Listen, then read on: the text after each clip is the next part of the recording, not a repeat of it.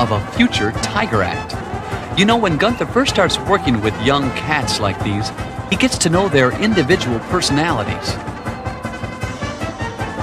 Each one is different. Then he starts developing friendship and trust, and he makes sure they learn that he's the boss.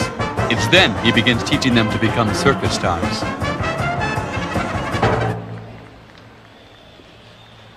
The greatest show on earth takes great pride in once again presenting the living legend of the circus, Gunther Gebel Williams.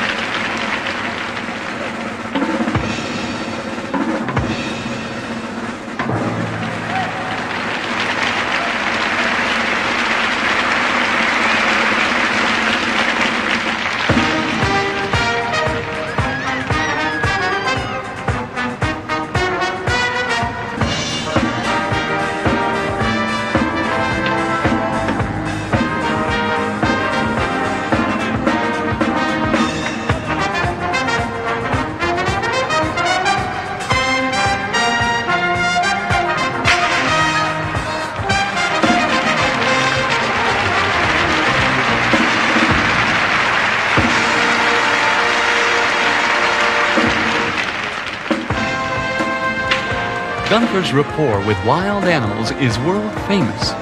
It's very difficult to begin training a new cat, he states. At first, you never know how smart he is, what his personality is all about. When I start with a cub, the first thing I do is give him a name. It must be short, easy to call, and not close in sound to any other animals. Until he's named, the newcomer doesn't feel part of the family.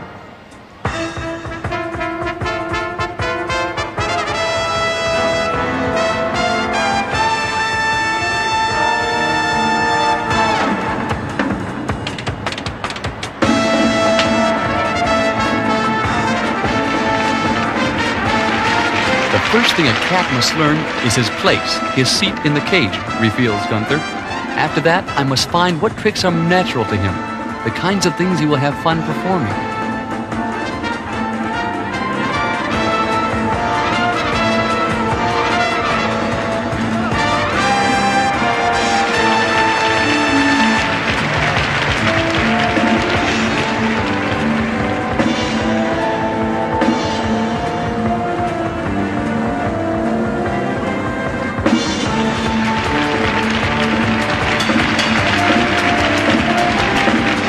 The Gebel Williams Tiger style has been praised by audiences and critics everywhere for its flair and originality.